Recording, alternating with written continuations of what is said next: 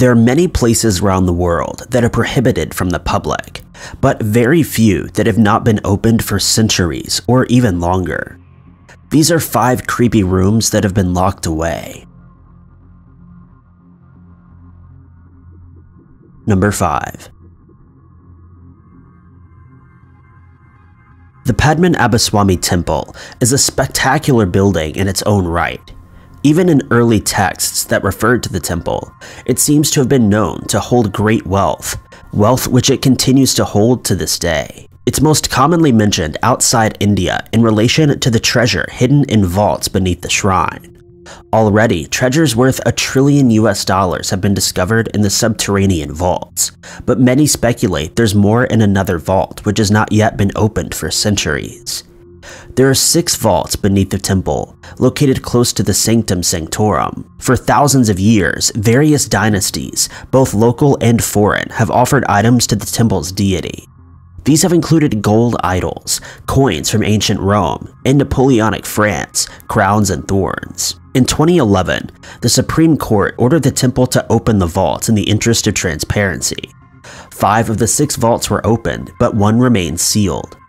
The sixth vault, known as Sri Pandara Nilavara in temple documents and Vault B in court documents, remains sealed. The royal family and Temple Thantri insist the vault must remain sealed until the god says otherwise. Deva Prashnam, an astrological ritual to ask God's opinion, was performed, and he advised against opening the vault. The conclusion was that the treasure inside was property of the deity and should not be on display, photographed, or evaluated. The royal family say it's a matter of keeping the sacredness of the place and the fact that there's a passageway leading from Vault B to the Sanctum Sanctorum, meaning that opening the vault to the public could lead to the sanctum being disturbed. They also say that trying to force it open is dangerous. In 2012, two judges tried to pry open the iron door that kept the vault sealed for centuries. One allegedly suffered an injury which caused him to bleed profusely. Others argued the vault had already been opened through a tunnel several times in the past, though the family disputes this. Number 4. There's not one room, but an entire floor hidden in the lower levels of the famous Taj Mahal. Most people know the story of the creation of one of India's most famous landmarks. Mughal Emperor Shah Jahan commissioned the temple to be built in memory of his wife, who died giving birth to their 14th child. It was completed 17 years after her death. Her body and that of Shah Jahan after his death were placed in sarcophagi, their heads facing towards Mecca. Though millions of tourists visit the site each year, it's only been in recent years that they've been able to see the real sarcophagi, which lie a level below replicas placed on the ground floor. The lower level was out of bounds for many years, and much of it still remains hidden from the public. It's been a point of controversy, and many have speculated this was to cover up what lay on the site of the Taj Mahal before it was built. There were at least three passageways into this basement that were covered by officials. One, inside the building itself, was labeled with a sign telling tourists not to stop there and that photography was strictly prohibited. From the other side of the river, another of these passages could be seen.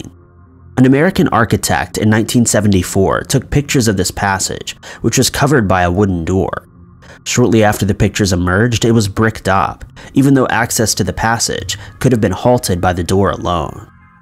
While there, the American took a piece of small wood from the door and sent it to be carbon dated. It's alleged that the wood was 250 years older than the Taj Mahal itself, indicating the door at least originated long before the monument. There are 22 rooms that lie on this lower level, and many of them contain Hindu art and religious symbols. This has led many to believe the site was once a Hindu temple, and the red sandstone buildings that surround the Taj Mahal, along with the lower floor, are remains of this ancient structure. Number 3. The Great Sphinx of Giza is one of the most iconic images of ancient Egypt, second only to the pyramids themselves. The limestone statue is of a reclining sphinx, a mythical creature with the body of a lion and the head of an Egyptian pharaoh. It's believed to be around 4,500 years old, and at 240 feet long and 66 feet tall, one of the largest monuments ever created. As with many aspects of ancient Egypt, there are dozens of conspiracy theories surrounding the Sphinx, some more grounded in reality than others. Everything from European racism causing the Sphinx to be defaced, to aliens being responsible for its creation, has been suggested, as well as its relation to the pyramids it appears to guard. But one theory may be reality. Pretty much ever since the Sphinx was rediscovered by Europeans, we've known there are passages inside the monument, particularly a passage in the Sphinx romp, likely created by treasure hunters in the ancient past. This is not the only passage, most passages appear to have been created by early Egyptologists as they tried to unravel the mysteries, much to the frustration of modern archaeologists who were left with the predecessors' messes. The only particularly hidden chamber known lies beneath one of the Sphinx's rear paws, and it's believed to be an unfinished burial chamber. However, it's widely speculated that there's more chambers than we currently know. A self-proclaimed clairvoyant from the 1960s claimed there was a chamber hidden beneath the front paws of the Sphinx, which housed an ancient hall of records. In this hall, apparently there was evidence for the lost city of Atlantis. Speculation about what could possibly be recorded in the hall is almost as wide-ranging as the theories surrounding Egypt itself. As well as the possible evidence of Atlantis, some suspect the hall would have proof of an ancient technologically advanced society that lived in the area before the Egyptians. If the chamber was created or used by Egyptians, it could house more detailed information about Egypt and its early neighbors, including the civilizations described in the Old Testament. For decades, professional and amateur archaeologists alike have searched for this hall to no avail. It seems likely this hall doesn't exist in the form we think it does. But in searching for it, archaeologists discovered a long-lost city buried beneath waves of sand. Number 2. The mausoleum of Emperor Qin Shi Huang is probably the most heavily guarded resting place in the world. China's first Qin emperor went to great lengths to ensure his final resting place would remain his final resting place, commissioning thousands of individually crafted terracotta soldiers to stand guard over his body once he died. Despite the terracotta army being on display for tourists, the chamber they guard remains sealed and it's unlikely to be excavated for the foreseeable future. Built during the late 3rd century BCE, the necropolis is a micro version of the emperor's empire and palace, complete with the terracotta bureaucrats and entertainers. Much of the necropolis has been excavated in the decades since its discovery by farmers, but the tomb at its center, buried beneath a truncated pyramid-shaped mound, remains largely undisturbed. Ancient Chinese scholars claimed the emperor had crafted an entire underground kingdom, complete with the geographical features from the world above. These included hills and most importantly, rivers. Two rivers of Mercury lie beneath the surface, surrounding the tomb. These are thought to represent the Yellow and Yangtze rivers, while the ancient Chinese believed mercury was the key to immortality. In reality, mercury poisoning was likely the key to Emperor Qin's death. While early European archaeologists were skeptical of these descriptions, later surveys proved that there were high levels of mercury in the soil above the emperor's tomb, and maps tracking the levels of mercury indicate that it was placed there by design. Researchers aren't 100% sure these rivers resemble the huge threat imagined when reading through the ancient writings, but it's still too dangerous to try to excavate with modern technology and will likely remain so for decades.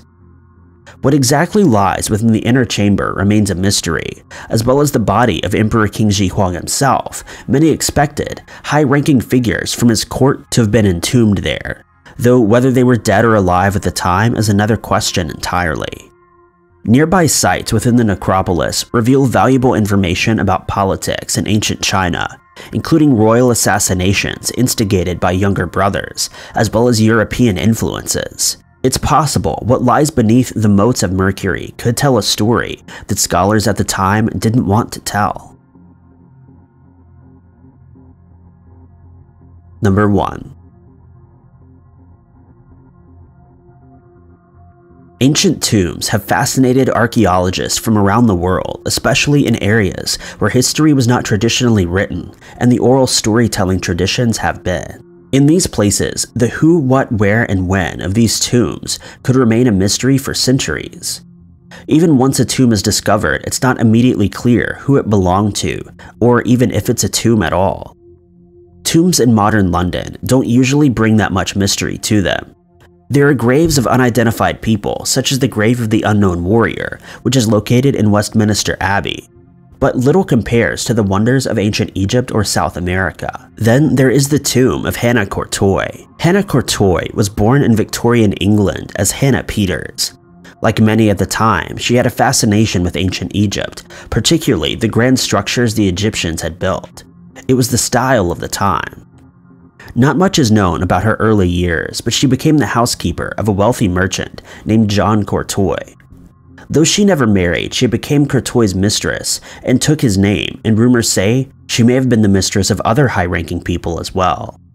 It shouldn't be glossed over that this was something she had in common with famed Egyptian queen Cleopatra, who had relationships with Julius Caesar and Mark Antony. When Courtoy passed, Hannah inherited his estate. Some of the money she used to finance a project of her friends, John Bonomi and Samuel Alfred Warner. Bonomi was an Egyptologist. At the time, some Victorians believed ancient Egyptians had the power to bring people back from the dead, or even travel in time itself. Bonomi, who was one of the first people to translate hieroglyphs from the Valley of the Kings, is believed to have discovered these ancient secrets during his time in Egypt. Warner, on the other hand, was an inventor, often credited as the creator of the first torpedo. He was rather eccentric, claiming to have invented an invisible bomb that could be teleported a short distance. While it seems absurd, he managed to convince the British Navy to back him, the story goes, Bonomi and Warner convinced Hannah to finance their project to build a time machine using the methods Bonomi learned in Egypt. Instead of a tomb, the Courtoy Mausoleum either holds the secret time machine or the machine itself. Others have suggested it's not a time machine, but a teleportation device connected to other mausoleums in London and Paris. The tomb itself includes many elements of Egyptian architecture, including a pyramid-shaped peak and mysterious hieroglyphics on the exterior walls.